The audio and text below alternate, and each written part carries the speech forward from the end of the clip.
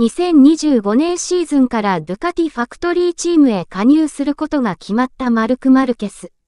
ドゥカティのゼネラルマネージャーを務めるジジ・ダッリーニャは、マルケス加入によってマシン開発で問題が発生することはないと見ている。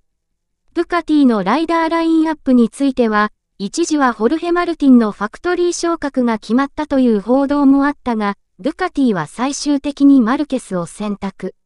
最高峰クラスで6度王者に輝いたライダーを陣営で確保することを彼らは選んだ。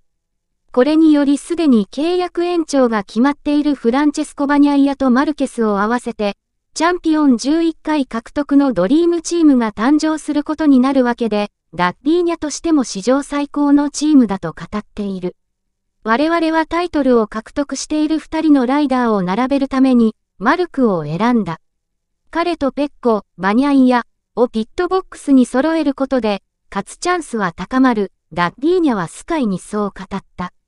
大変な決断だった。スポーツ的な面からも人間的な観点からもね。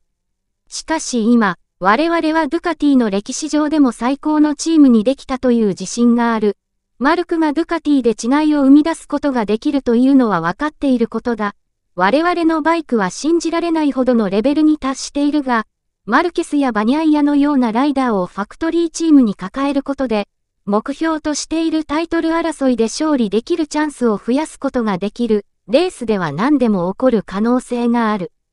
だからタイトルを戦うだけの力を持ったライダーを2人揃えるのは価値あることだ。一方で、マルケスをファクトリーチームに迎え入れることは、リスクもあると見られている。